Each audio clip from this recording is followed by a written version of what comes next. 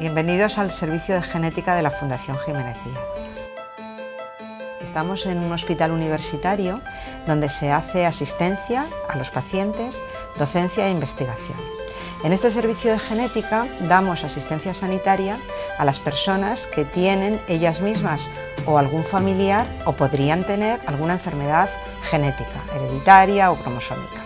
Y esas personas son aquellas que han tenido problemas reproductivos, eh, problemas para tener hijos o abortos de repetición, por ejemplo, o personas que pueden tener eh, en sus familiares discapacidad intelectual o alguna enfermedad que presumen que puede ser hereditaria.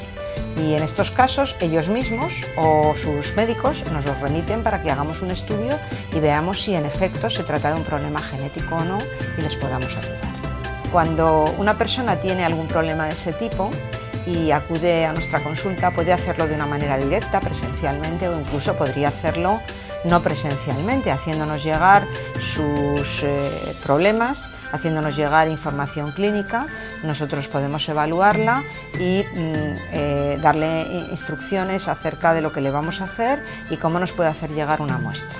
Siempre preferimos que la consulta en algún momento sea presencial, porque es muy importante que eh, la persona que llega mm, sea atendida por nosotros, le podamos preguntar cuáles son sus antecedentes, podamos preguntarle también por su familia, incluso si es necesario le hagamos un examen físico como hacen otros médicos y también le expliquemos qué tipo de estudio le vamos a hacer para pedirle permiso por escrito mediante el consentimiento informado y que él, pueda, él o ella puedan acceder a, que le hagamos el estudio. Una vez que hemos hecho esto, que hemos atendido a la persona en la consulta, pues eh, pasamos a extraer una muestra. Esa muestra es de distintos tipos. Si lo que tenemos que estudiar es un problema que podría existir en el feto, pues hacemos una extracción o de líquido amniótico o de la placenta. Incluso a veces podemos hacer un estudio en un embrión, un diagnóstico genético preimplantatorio. O bien podemos hacer el estudio en una persona que ya, en un individuo que ya ha nacido, en un paciente que tiene un problema o que podría tenerlo. Y en ese caso pues optamos por una muestra o bien de sangre o bien de saliva.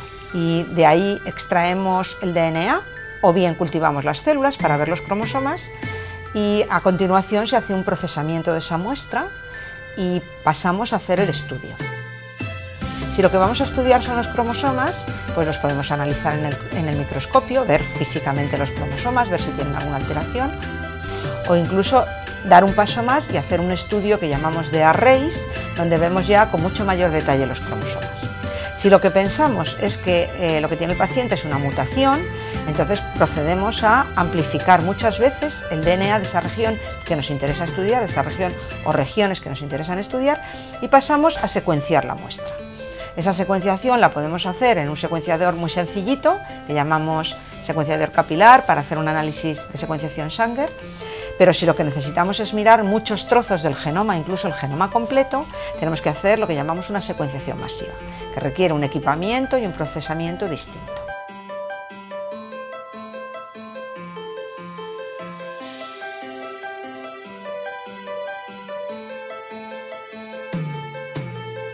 Utilizamos una técnica u otra dependiendo de que esté claro que tenemos que mirar un solo gen o, por el contrario, pensemos que tenemos que mirar muchos hasta que encontremos la causa de la enfermedad.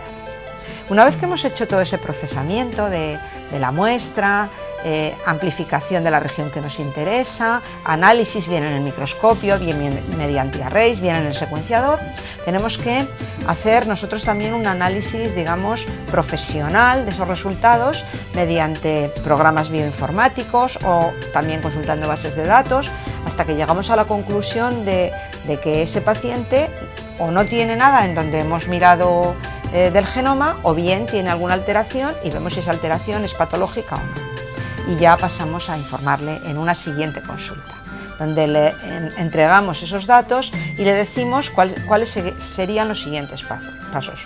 Por ejemplo, si tiene una mutación genética que puede repetirse en otras personas de su familia, le explicamos que eso podría ocurrir para que ofrezca a sus familiares el que vengan aquí y les podamos analizar también a ellos. Incluso si existe riesgo para su descendencia, le ofrecemos las alternativas de análisis en el embrión, en el feto, etcétera, durante la gestación. Si el, diagnóstico hace que cambie el enfoque clínico, también se lo decimos al paciente para que vaya a su médico y su seguimiento sea diferente. Y a veces, desgraciadamente no muchas, pero algunas veces incluso tenemos tratamientos eficaces. Por ejemplo, podemos detectar que el paciente tiene predisposición a sufrir una arritmia y una parada cardíaca.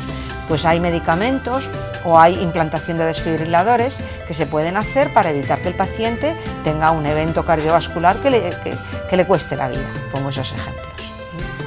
Y ahí, digamos, eh, finaliza nuestra misión en el momento en el que eh, entregamos esos datos al paciente y también al médico para su eventual seguimiento.